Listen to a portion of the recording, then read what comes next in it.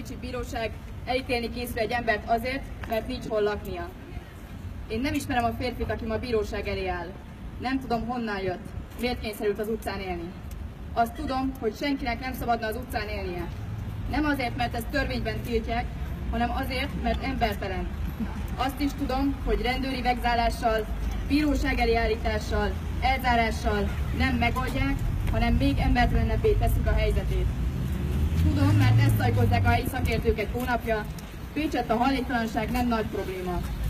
Mi, a város mindenki pécsi aktivistái azt mondjuk nagy probléma. Eddig három perre került sor Budapesten és környékén. A negyedik ma Pécset zajlik. Ez elmond valamit a helyzetről, azt hiszem. Pécs volt a legbuzgóbb város, amikor a hajléktalanság tiltására elvi lehetőség nyílt. 2014. szeptember óta tiltotta a belvárosban és az LKF évében épült tereken az életvitelszerű tartózkodást. Hol tartózkodjanak az emberek életvitelszerűen? Ellátó intézményekben. Reggel 8-tól este 6-ig nappali melegedő, onnan mehet az éjjeli menedékhelyre, vagy az átmeneti szállóra reggeli. Magánszféra nincs, konfliktus van, kutyát nem lehet. A pároddal a város két végén alhattok szabályosan, mert páros szálló nincs. A problémáról beszélni kell, nem szabálysértési bíróság elé állítani azt, akit érint. Nem azzal az emberrel van a baj, aki az utcán él, hanem azzal, hogy 2018-ban Magyarországon emberek kénytelenek az utcán élni. Beszéljünk erről. Beszéljünk arról, hogy csak Pécset több mint 4000 önkormányzati bérlakás van. Beszéljünk arról, hogy ebből 400 üresen áll, hogy közel 1000 lakónak nincs megfelelő szerződése, hogy a 700 milliós lakbértartozás 2500 háztartás között oszlik el. Beszéljünk arról, hogy 2018 májusában a városvezetés egy olyan lakásrendet módosítást fogadott el, amely ezrek lakhatását sodorja veszélybe, és további ezreket poszt meg még a reménytől is, hogy valaha önkormányzati bérlakásban élhessen. Hol tartózkodjanak az emberek életvitelszerűen? Még véletlenül sem önkormányzati bérlakásban. Küldtek már el ügyintézők utcán élőt azzal az indokkal, hogy nem igényelhet lakást települési szintű lakcímkártyával. Innen még talán a Kossuth ügyintézők is hallják, ha azt mondom. Szociális bérlakások azért vannak, hogy akinek nincs lakcíme, annak legyen.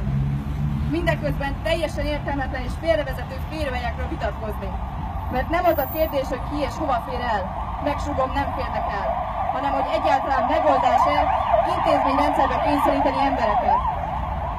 Miért nem arról szól a vita, hogy az 1990-ben létrehozott intézményrendszer nem tudta tartani a lépést a hajléktalanságban élők előregedésével, állapotuk folyamatos romlásával és az állami gondozásból kikerülőkkel.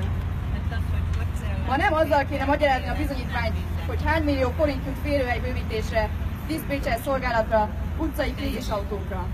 Arra kéne választ adni, hogy hogyan lesz alkalmas egy hajléktalan ellátó intézmény egyszerre idősek otthonaként, betegek ápoló otthonaként, bentlakásos pszichiátriai intézményként és rehabilitációs központként működni. Arra kéne választ adni, hogy ez a feladata. Ezt a feladatot kell ellátni egy szociális munkásnak, aki nem erre lett felkészítve, nem ezt vállalta. Arra adjanak választ, hogy mostantól szociális börtönként kellett tekinteniük a munkájukra. Ezeket a kérdéseket nem csak nekünk kéne feltennünk, hanem minden pécsi és országos ellátó intézmény munkatársának.